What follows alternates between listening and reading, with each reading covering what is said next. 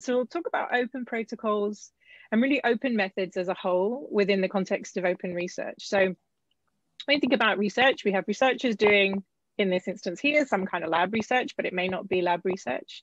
And we do quite well, and there have been a lot of initiatives about making sure we have access to the research papers, to the code and the data, and even the citations. But there hasn't been anywhere near the same level of focus on making sure that we actually have open methods all the time. So whatever's in the paper, if the paper's open access, then you'll have access to what part of methods is presented in the paper, but that may not actually be very comprehensive. Um, and so if we start thinking about reproducibility of research and what it is that it's important to have as open for research, the data is great, but if you don't know how you actually derive the data, it's not as helpful as you think in terms of actually figuring out how it was generated and what it means because you don't necessarily know how it was generated. So why why should we care? um, reproducibility in research has had a lot of really bad bad press in recent years. Um, some people talk about crisis of reproducibility. I'm not big fan of the crisis terminology because I think this is something that we can easily address but it's clearly, if not a crisis, it's still a big problem. So these tweets that I'm showing kind of exemplify the issue. So in the one in the center, the person who's a biologist was looking for a protocol in a published paper, and that paper cites an earlier paper, and the other paper cites an earlier paper, which cites another earlier paper, and this is going to be pre online content for the most part. And then maybe eventually you hit a paywall and you just can't access that information. So in that instance, this researcher was clearly very frustrated. And so the, the tweet shows this really nicely as they toss the laptop out the window. Uh, it may be that previous experimental information is only in um, the real kind of details of it might only be in someone else's lab book from years before. And that might have had many coffee spills or been torn or lost or just be illegible essentially by the time you come to look at it. But that, you know, and scrolling through someone else's handwritten notes is not a task I think that anyone would relish thinking about doing. Um, but it's not just biological sciences. So the tweet on the right is from a physicist too, who hit exactly the same problem of trying to get to information about how devices were fabricated. Um, and conventional methods in the end was the answer, which is not helpful to anybody particularly. Um, and there have been some big initiatives in recent times to see if researchers could replicate and reproduce some of the results from some published studies. So this is a big study by the OSF, Tim Errington at the OSF, and they, they set out to try and replicate and reproduce the results um, that were arrived at in 50 published papers about cancer research.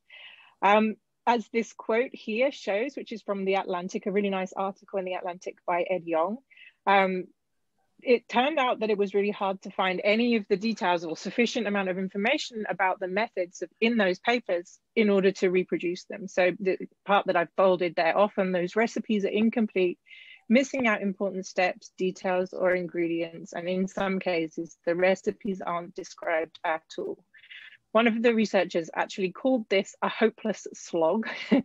um, and the, the initiative was stopped after they'd only tried 18 out of the 50 studies because it was just impossible. And it was proving incredibly expensive as well to actually try and perform these replication studies. So the long story short is there's a big problem actually getting to the methods information about how people were performing their research. Um, and that's where protocols.io comes in, which is the company that I work for. So we are a for profit, but the content that we publish is all open access. And our mission is really simple to make it easy to share method details before, during, and after publication. Um, it's completely free to use as well if you're publishing your content. So anyone can come sign up for an account and put in the details of their experiments, their protocols, and it looks like a recipe I'll show you in a moment. Uh, and it's really very, very user friendly. So if anyone hasn't had a look, that URL at the top with slash welcome is a good place to start um, to poke around in there. And it's really versatile. It was started out for lab bench work, biological sciences, but people use it now in all research disciplines pretty much. Um, here's an example of what one looks like. So when it's published, it pretty much does look like a recipe, but also a little bit like a publication. So at the top here, you can hopefully see there's a DOI on this published published article. So that means that you've got a permanent URL link to a published version that will stay static. Uh, and it's the imprimatur that's used for all kind of publishing and research, essentially.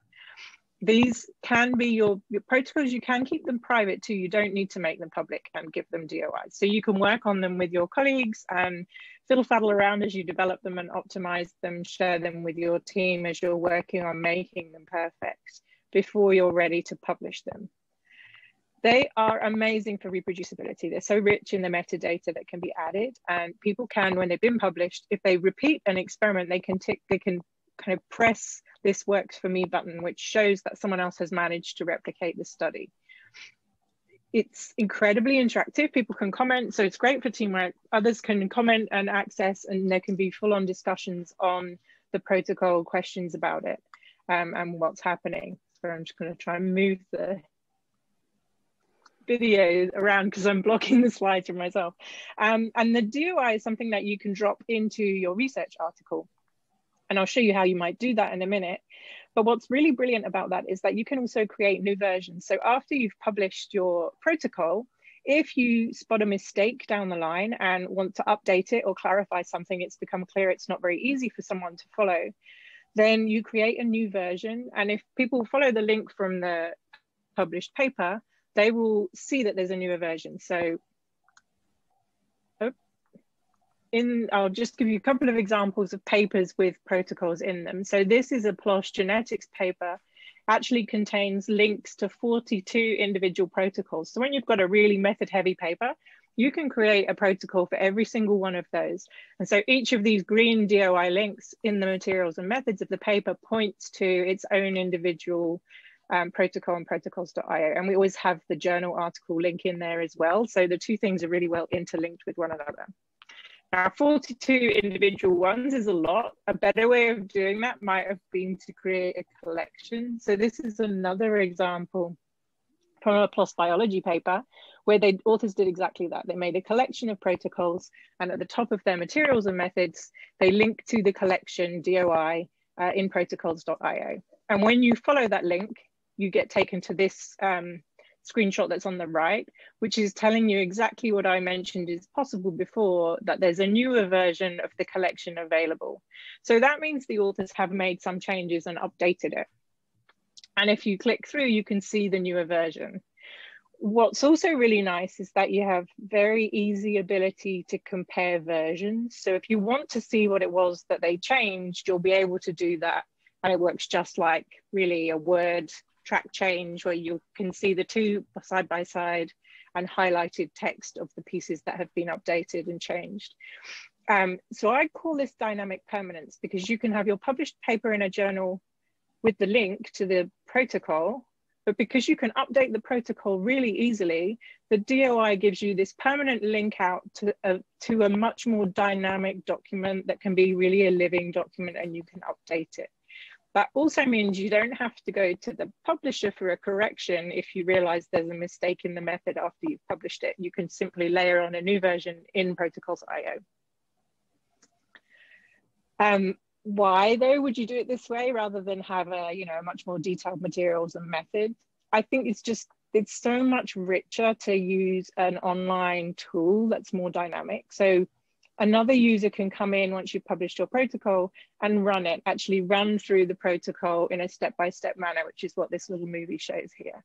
You can add figures and photos and videos, kind of how to, much more of a step-by-step -step guide on how to run the protocol, the kinds of things that you'd never be able, you wouldn't even be allowed to put them into a research paper. You can make this much more of a how-to guide. Um, and it's just has the capacity to hold a lot more granular information about reagents, equipment, specific tips and tricks on how you made it work. Maybe it took you a really long time to work out the method of kind of shaking and temperature change and things to do to make a step of a protocol work. Um, there's the versioning, and it's really just much better suited than writing a narrative paragraph that you would have as a materials and methods in the paper. But also it's always open access. So, I mean, we are moving towards a more open access world for manuscripts, but right now they're not all open. But if you've chosen to make the methods open, at least if the paper ends up paywalled, people will still be able to get to the method details without having to worry about accessing a journal article. Um, we have done some really big kind of community workspaces, which were amazing actually. And this one was really organic. And uh, it was Anita's idea to create this coronavirus method development community right at the start of 2020 when we started receiving submissions about coronavirus, various different um, techniques, sequencing or viral load or all sorts of different things. Um, we created this community. It's probably the largest growing one and fastest growing one we've had, uh, and very organically so. So it's amazing to see how you can kind of find like-minded scientists working on similar things and create really a huge resource in this open way. Um, that's really, I mean, the pandemic is at least the silver lining is shining a huge spotlight on the need for more open science and understanding and sharing of information as we make advances as quickly as possible. And so we were thrilled to be able to support these efforts and had our editorial team help pull in protocols when scientists didn't perhaps have time to do that. Um, and making the methods protocols open on their own makes them a lot more discoverable independently of the manuscript. So the example I'm showing here, the top left tweet was someone looking for a protocol to do with RNA extraction from primary cortical neuron cultures, so neuron cells, brain cells. After several tweets, a UCSF postdoc, I think it was, um, suggested a protocol that was on protocols.io. And actually, when you click through, you see that that protocol came from a GigaScience paper, and it was a paper on three spine stickleback parasite. So it's pretty um, unlikely that a connection would have been made between neuron cultures, brain cells, and someone's work on stickleback parasites, fish parasites, without that method being pulled apart in a modular way outside of the paper itself. So sort of this, this modular approach to open science has really facilitated discovery and also research connections of people who use similar methodologies but in completely different contexts. So having that as an open piece of research on its own as a research output that's important independently of everything else has made a big difference in some instances for people getting the right feedback on what they should do basically. So yeah, I mean, I'm a huge open science advocate all around, and really anything you share like this can accelerate science, increase discoverability, reproducibility, help you make good research connections, enables the reuse, and it really does enhance the value of the research. There's really not a negative reason, uh, I think, or negative outcome from sharing methods this way. Um, and it's and it helps with the stewardship of research output too. So within a lab, often it's said that you're your most likely future collaborator will be you in six months time. So if you store the details in a much better format than your own scribbled lab notebook, you're actually making life easier for yourself in the future too. Um, we have a lot of support. I, I, realize I'm running out of time from journals and publishers and funders and also institutions who also recommend people use protocols.io. So uh, we're very happy to help people if they're interested in using the tool. And it's only a small company. Lenny, who people may or may not know, is our founder, and Anita's been there for a while too, and it's.